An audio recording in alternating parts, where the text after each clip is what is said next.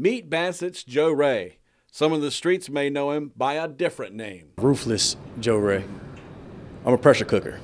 Um, I wouldn't say straightforward, but I'm a very aggressive, very aggressive fighter, and I, I, I throw punches to hurt. I, I, throw bad intentions.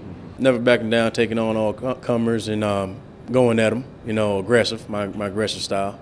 As everybody might know, I, I was a street fighter, and um, basically what I was doing that to get noticed. And um, MMA, first I wanted to be a boxer, but then I figured I could use more weapons uh, in the cage doing MMA, and it just, you know, from wrestling to high school, it just came. He tells us that he's headed to Atlantic City for the big fight this weekend. My pro debut fight is on January 25th. That's next Friday. Um, and it'll be at Atlantic City, New Jersey, at the Tropicana Casino. Um, being that it's my pro debut, um, the guy it's, it's, the other guy's pro debut as well, mm-hmm. and um, I'm just looking forward to it. You know, the, the the crowd aspect, the big crowd, huge crowd in Jersey. Mm-hmm. Um, he has a fan base there, so I know he's going to have a lot of support, and um, it's going to be very different. Ruthless Joe Ray has been going the extra mile getting ready. I study a lot of film. Um, I have done it in amateurs, and I, I, continue to do it in pro. I have a few videos on him. I've been watching him, and uh, I'm very excited to fight him. He's an aggressive fighter, and uh, I like to fight those kind. They're easy to uh, catch with the punches. The bigger venues, meeting new people, meeting new fighters. Uh, you watch fighters on TV, the next thing you know, you're in the dressing room with them. So I'm very ecstatic about that.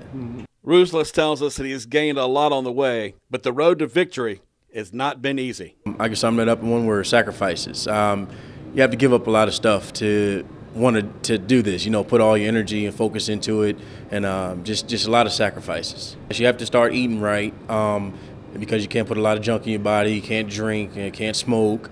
Um, you have to get up early to run in the mornings. You have to put in those training, those hours and hours of grueling training time. It's not always fun, but when you fight and get the get the victory, you know, it's all it's all worth it. You know, I only fight inside the cage, uh, never out on the street anymore, and um, I like it keeps me out of trouble. It's actually something that teaches discipline, and, you know, dedication, and uh, keeps me out of trouble, and I, I like it. Joe tells us that the fighting business is pretty big in Martinsville and Henry County.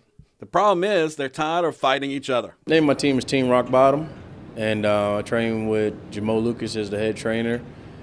It's actually a lot uh, through Bassett, Henry County area, and um, actually it's another school on 220. You know, it's actually it's actually real big and, and very popular around this area. It's just um, as far as to get, we don't all want to fight each other. You know, it, you know it gets boring after a while. You know, fighting the same people. So venturing out it has become the the biggest thing to do. Um, but it is, it is very big in, in this area. This is a fight town, believe it or not.